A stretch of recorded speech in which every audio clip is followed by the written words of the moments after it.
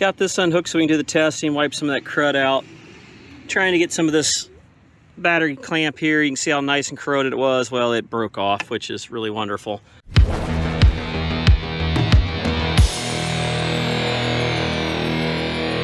All right, another Generac with a carrier branded sticker on it that's not wanting to run.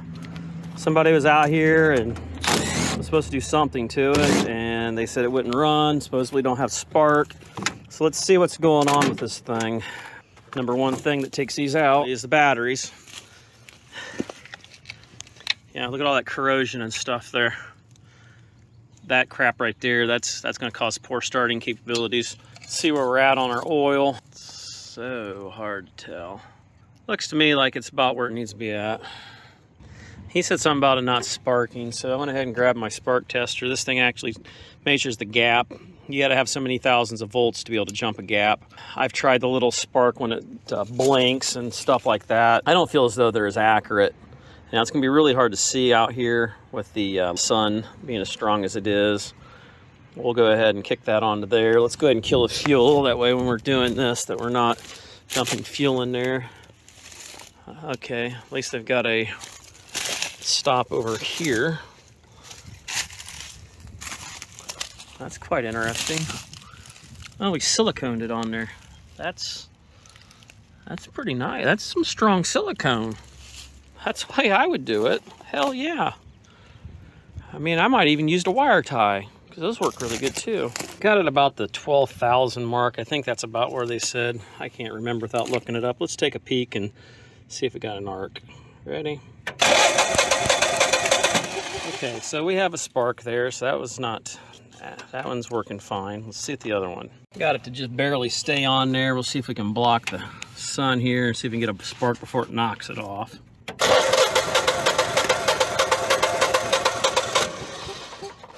Yeah, it didn't work so well.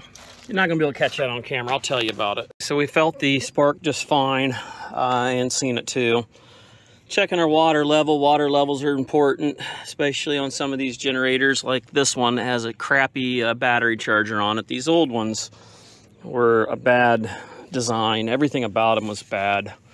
They uh, had independent battery charger, independent voltage regulator. It was their starter series, I feel as though. I mean, they've been around forever, but in 2005, 2006, that's when this thing was, this design was pretty popular.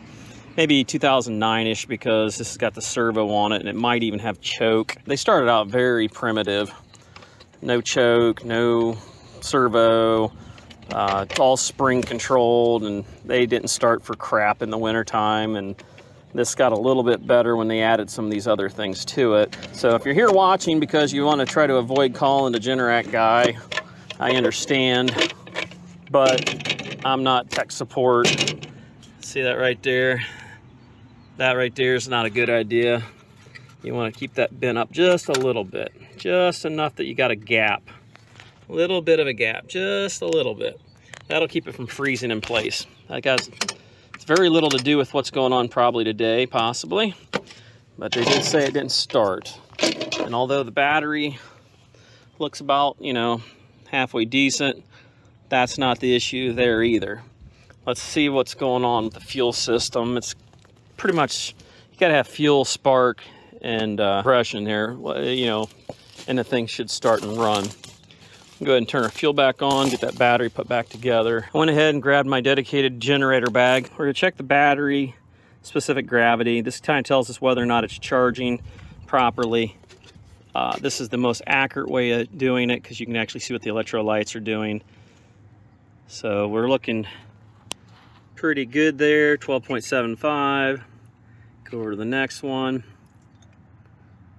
Almost 1300 which if you don't get a good level of water and in there equally across it will be different. So like see it didn't go all the way up do it again. Boom 1300 so this battery looks like it's fully charged. Let's go ahead and do this one here. It's almost 1300 we're just probably going to add some water to this and we'll be able to move on see it didn't go all the way up do it again do it one more time get it up there to that level where it should be at and we are at 1300 which is fully charged that's good and about 1300 area if I had the water level all the way up. So you want to make sure you rinse your gauge out. You don't want that acid crap getting uh, on anything either. So I always rinse that out after I get done. We'll go ahead and add some water, which I've got my little dauber here. So get that up to the bottom of each one of those plastic things there. And I'm gonna need to grab another one yet. I got the water levels up. I'm gonna go ahead and clean this up just a touch. Also grab my digital tester there and we'll check to see how the uh, battery fares by uh, digital testing. Got this unhooked so we can do the testing, wipe some of that crud out. Trying to get some of this battery clamp here. You can see how nice and corroded it was. Well, it broke off, which is really wonderful. So we got that off. We're gonna have to put a new one of those on. I hate using those generic screw down ones, but that's about all I can get nowadays. Got the analyzer hooked on. This is a generic one, but uh, basically we're doing a quick test here at 540 at zero cold cranking. It's coming in good. Coming in at 450, so it's 100 crankings below, it's 70%. Battery's got uh, six uh, mega ohms on it. It's saying good. It's obviously starting to show its age. Uh, we're gonna go ahead and let it go for now. It's not our primary problem. We've got our fuel regulator back here in the back. We'll probably end up having to check gas pressure once all said and done. Let's see if I got one of those clamps. I think I have one. Kind of annoying. You know, I'm on to bigger and better things now, and I just don't care to do it. Everybody and their brother's doing it now. And so you would think the electricians would take care of this, but they don't. That don't look very good. Jeez. But all I had is a red for positive. Looks like it'll fit just fine. I've got some spray paint. We'll go ahead and paint it black. Let's go ahead and get that thing chopped out of there. There's that. Well, we got it clamped down about as good as you're gonna get it. I'm not gonna spray it in advance because I don't want paint in between my my uh, terminal and the clamp. So I'm gonna spray it once I've got it on there. So we'll get that on there and then we'll spray it. Got it in place, got the red protector stuff on there. Then we got the other one painted, which don't look too bad. You know, it's gonna work. Nobody sees it in there. I, I like to make it look as good as possible, but at this point, I don't have anything else. I'm not gonna make a special run just for a battery terminal. Let's go ahead and kick this thing on. See if the choke opens and closes like it's supposed to. Let's go ahead and put it in manual.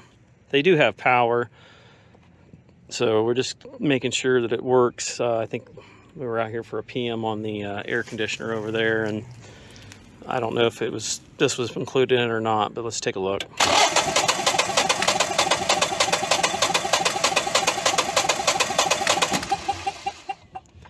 I stuck my two fingers in there and it sucked that fuel through nice and fast, it probably worked just fine. But we're gonna go ahead and play the game. They always wanna know what your gas pressure is. Let's go ahead and check that. Uh, let's see what we got. Look at that. Seven and a half inches. Makes me think this has been a problem in the past. That really wouldn't surprise me. And like I was saying, I don't make these videos for homeowners. I make this for some of the guys getting into the field or just have to get to have to surface these because they're in HVAC and can't find an electrician that knows how to work on them. We're uh, tapping in after the, the uh, pressure regulator there. You can see the solenoid, gas solenoid is right there. If we, uh, you can also go below that, and I'm pretty sure that is my incoming pressure. Now you get too high and it won't open.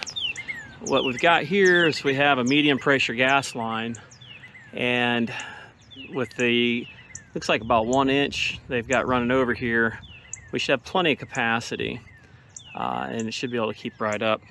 Let's see if we get that gas through the solenoid when we crank it over. We are at zero-ish. Let's go manual and see what happens. Seven and a half inches is pretty good. Should be firing. Should be firing. Got spark, got rotation. Is our spark plugs bad? Let's take a look at them and see what we got there. Maybe we have bad compression. That could be a possibility too. My favorite spark plug tool for these things is this old-fashioned generic piece of turd here that used to come with the kits. It uh, makes it the easiest. It just gets in tight spots and you can get it right out of there. Looks like it's been burning, don't look too horribly bad. I wanted to make sure that we are on natural gas setting, and we are. There we go, finally. Okay. Looks like it had been burning. Looks like a little something goofy there on the end of it. What's that? What is that? A little crackage going on, or is that just creosote? It looks like creosote of some sort. All right, let's go ahead and grab the compression gauge. I don't see a whole lot wrong with the spark plugs. Let's go ahead and turn the fuel back off. Don't really need fuel running through the system. Got our hose hooked on.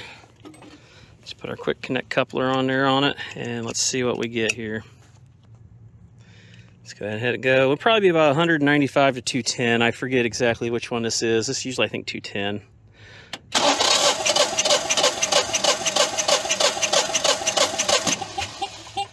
All right, looks like we got 195, almost 200.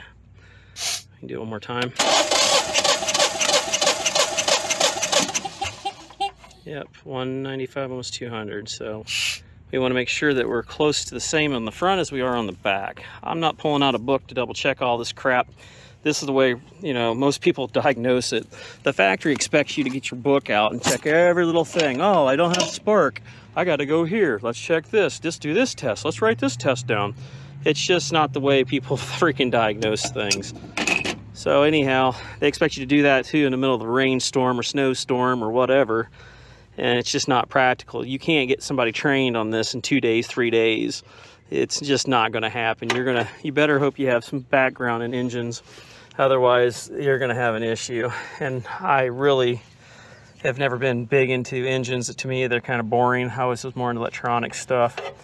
And, uh, you know, luckily this is just a simple, you know, combustion engine, not much to it. We've got it there in the back. Let's go ahead and try it again.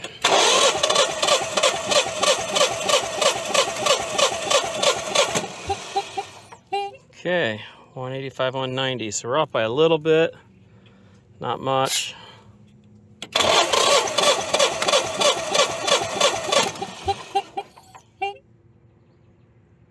About five pounds, 10 pounds. I gotta do the math to see what that's 10% or not. But what they would want you to do then is to adjust your valves. Like I said, if we put our fingers in there, the uh, intake stroke of the engine will suck the fuel in even stronger and it'll start right up. And then it's gonna run every time after that. But that's why I wanted to go through these tests first to make sure we're getting fuel through. The solenoid is getting fuel. We are getting fuel past the solenoid and we are getting it down there to the bellows. Now, whether the bellows are opening or not, I don't believe that thing is actually tapped in after the fact, but those bellows could be sticking. That big pancake looking thing there, there's rubber diaphragm inside there and it has a teeter tot. So the diaphragm gets in and out like this, but there's a plastic piece in there that literally goes back and forth. Them things, I had a lot of issues with them not wanting to uh, open up. Well, this is holding pretty good. It ain't perfect, but it's doggone close. I would say, we can do the math real quick. 5% added on to 195 or 190 comes out to 199.5. So I, think 5% is pretty close to tolerance. We're gonna go ahead and go with that. Let's go ahead and put this back together, put the spark plugs in there, and let's go ahead and do the two finger bang to the carburetor here and see if it starts up. I did do a quick spark plug gap check. We're at 35 thousandths and 37, 37, 38 thousandths area on the other one. I can't remember if it's 0.35 or 0.4 on this one, but we're gonna be close enough. I'd have to pull the manual out to get to it. Once again, it's been running all this time. Um, not too horribly concerned about a couple thousandths there. Let's go ahead and get those in, like I said, and let's get it running. And another thing you gotta remember too, this being a carrier quote unquote they screw the numbers up so it doesn't match my generator generac bu uh, book. You know all this cac Bryant day and power uh, all that's bull crap none of that is true. It's all generac. Even says generac right there on the freaking motor. All you can do is kind of compare it to the different motors. The only thing they've done is usually keep the motor about the same as far as the cc's so this is 992 cc that's about the only way you're going to cross it because I'm not going to find the exact model number for this thing in my Generac book. Now, like I said, we're gonna kick this thing on. Everything I'm doing here can be continued, uh, possibly dangerous. So like I said, this is for entertainment purposes only. I don't do this for homeowners and things like that. Obviously, they're going to watch it, but that's the reason why I don't give any technical support on it. It's just kind of give the guys that don't get money, uh, don't get much hands-on, doesn't get sent to the school, gets sent out on these things to work on them. You know, it really isn't fair to them. Uh, but unfortunately, you know, it's things like this that hopefully can help them out a little bit. So I'm going to go ahead and hit manual here. We're going to give it a two finger bang and see what happens.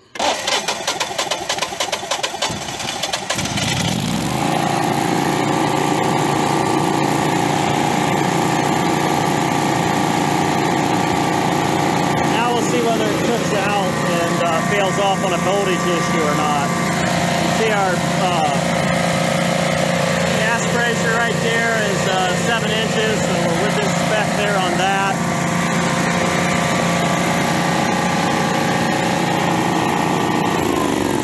Now that it's running, let's see if it'll run now. You know, you've loosened up that diaphragm in there.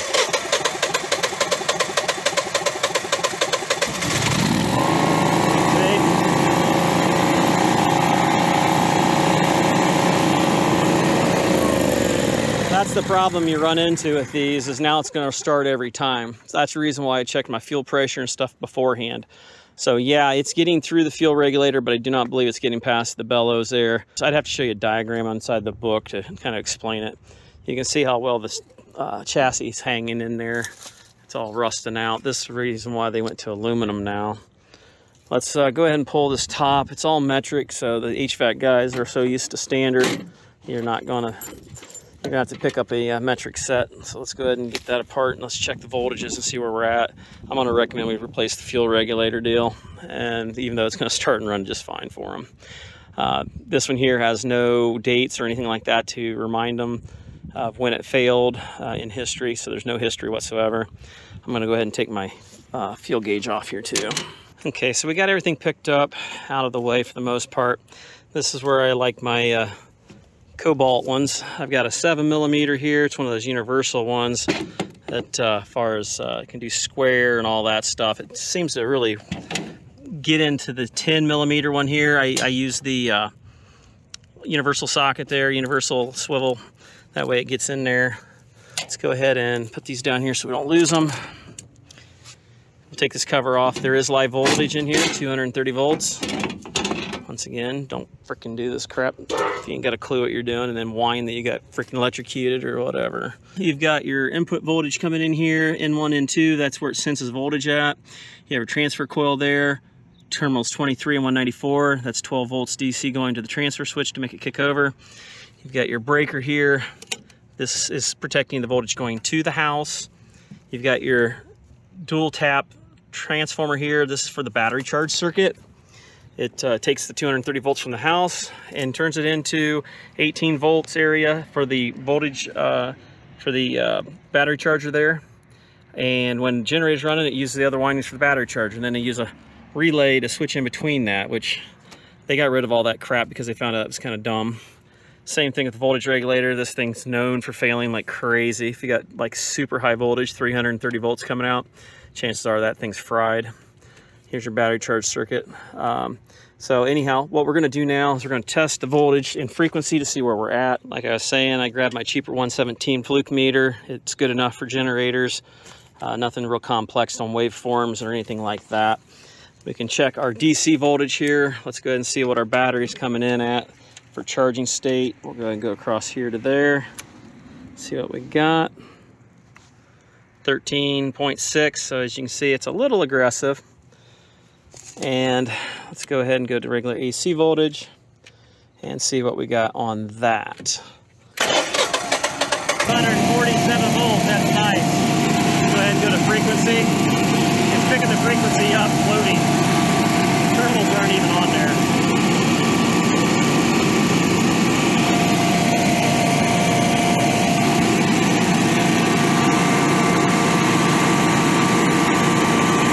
I've never seen that before. Nice. Gonna put that down here, see if we can get an accurate reading. Fluke 87.5 don't do that. We're still running 58 hertz which Under a load, it probably is going to modulate. There's nothing I can do about that. That's controlled by the control board. The voltage and stuff is fine. The only thing left to do now is to test the transfer switch to make sure it's actually going to transfer over. It doesn't do them a whole lot of good to have a generator running if it doesn't transfer over. And unfortunately, that's one of the most important tests at the end there you need to be doing. Let's do a rundown here. We've already taken care of the battery, so we know the battery's going to start. We made sure the water levels are correct. We made sure that a specific gravities per cell is the same, so we don't have one cell failing over the other. We got good connectivity on our battery terminals there, and we got those treated. We've checked our spark plugs and made sure that the gaps are correct. Prior to that, we checked our compression to make sure our compression was correct. And then we checked our battery charge circuit and made sure that we got the battery uh, voltage coming into it, which is in the range that it normally runs at. And then we also tested the battery under electronic tester, and it showed that it was okay. We've made sure that our gas pressure was right.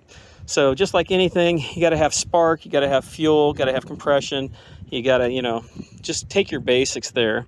Um, you know, there's other safety things in the circuit that can go wrong. You got oil uh, pressure safety switch here that can go out. You got temperature switch down here on bottom. Some of these are normally closed. Some of these are normally open circuits. You got your servo here. I haven't had too many of those fail. I've had idiots leave the ca uh, cap off and lose the oil all over the place. That can happen. Those are some of my main things, along with the voltage regulator there fail. And then that fuel solenoid down there, like I was showing you earlier, that has a tendency to stick and that's exactly what happened here uh, from what I'm seeing. As you can see, it is starting every time. And the only thing we did was gave it the two finger plunge and uh, it came right on and ran. And now that it's loosened up, it's working just fine. The voltage is coming out correctly. Uh, like I said, only thing we need to do now is do a test to see if it will transfer over. What we can do, um, we can unplug N1 and N2, one of them here, which like I said, it's 230 volts, You're taking a chance of blowing a fuse. Those are only rated at about five amps. And when it does that, it's going to send 12 volts DC, which it usually switches the negative. It's always 12 volts on the one terminal. So if you came in here right now with your meter on DC voltage, and you come in to, I think one, well, either way, it's gonna come through and out. So 23 to ground, nothing. Now if you go to chassis ground, which is going to be the same as battery ground, you got nothing. Let's go over here to 194. Maybe because I'm not in auto mode. Yeah, I'm not in auto mode. So let's go to auto mode. We have a green light, solid, which means that it's programmed for some specific date. Let's go back here to 23 and chassis ground. There we go. Now we're at 13.68 there on that one. And we come over here to this one here and do the same thing. 13.68. So what it's doing is it's looping through the coil of the relay inside that it uses to transfer it over. I have my leads backwards here. So if we put the positive on the 194 or in to chassis ground, we've got the 13.69. If we go to neutral, probably won't get as much. Let's go there to it. That's still there. So they must be uh, commonly uh, bonded together of some sorts. Uh, so anyhow, yeah, so we've got it there. Now, if you check between the two of them, you won't have anything. So we go between those two and we have zero. Uh, when we trip this thing out, it should say 13 or so volts and that's going to power the transfer switch and you're going to see the motor bogged down. Now what we can do is we can literally leave it in auto position we can unplug the plug in here. Sometimes this is easier. We got a 5 16 screw holding that plate on, and there's a Molex plug. And if we unplug the Molex plug, that's going to kill the 230 volts, 240 volts coming into the generator, and then it's going to start up and it's going to transfer the DC voltage to the um, circuit inside if it was connected. But since it's not connected to it, it's not going to do crap. So let's go ahead and put it on AC. Let's check our incoming in one and 2. And obviously it must be right because we don't have blinking light. So there's 246.5, give or take a few thousand volts. We are good to go there. Kind of find this humorous. I get down here and I see my writing, it says wire nuts. Somebody was an aggressive fool and snapped off, oh that's nice, bees nests and everything else they uh, snapped off the terminals up there when they were installing it. And then they, ooh, there's some live ones in there. Look at him. Yeah, He's not moving around real fast, but he's in there. See him right there? He's sleeping a little bit. It's not that freaking cold out. Anyhow, our plug that I wanted originally is up there at the top. Let's see if I can get that out of there without mm, having him come out and kiss me. Get this out of there. Okay, there's our terminal, which that's all jimmy janged, him hoggled, flambasted, whatever you want to call it, together. That's the plug there. He's flying around. That's nice. Let's go ahead and pull this apart. It's going to start after about 10 seconds, and then it's going to send out 12 volts DC. When I put it back together when I'm done, it should transfer over and it's going to wait about 10 to 20 seconds, 30 seconds, and then it's going to start cooling down and it'll undo the 12 volts. So in reality, I'm going to get it to switch without having to kill power in the house. Finally got it apart. There we go. She should start up here in a second. Should see blinking light over here. Yep, see the blinking green light? So it started up. Generator should be providing voltage now, obviously. We checked that earlier. 247, great. Go to AC volt or DC voltage. Go down here to 194 and 23.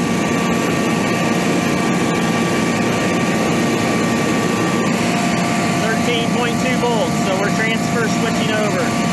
Uh, positive is on uh, 194, 23 went to ground, obviously. You can see our red, black there. So we did that. Now watch this. When I plug this together, it's going to allow that voltage to go in there and transfer over. But it's also going to start counting down that it's got power. It should have kicked over. I didn't hear much of a load. Only way to know that is to put the amp meter on there and see, but chances are it's already switched off. Do anything. We can undo it again here. That way it kind of switches over.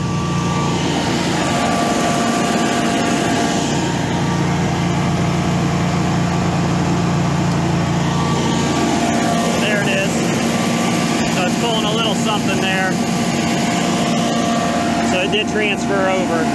There's a generic way of doing it, probably not the preferred way of doing it. It's easier if you can go inside and pull a fuse or turn off the main breaker.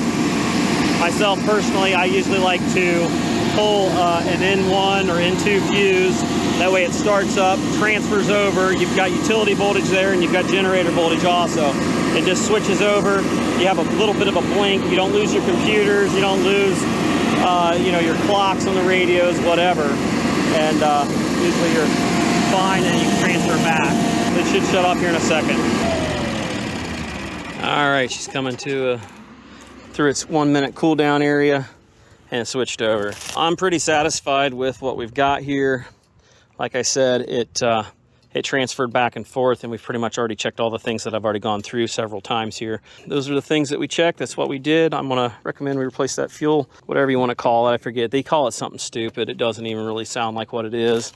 But either way, um, it's not really the solenoid, but it's more of the uh, fuel regulator. We'll go ahead and stick that back in there along with all this other goodness. And let's see if we can find that screw. Got that in there right now. We're good to go there. All right, guys, hopefully you enjoyed the video. If you did, hit the thumbs button. Check out some of the other videos. I've got other generator videos and HVAC and uh, refrigeration videos. Check them all out down below. Check us out on Instagram, Facebook, and until next time, guys, we'll catch you on the next one. Later.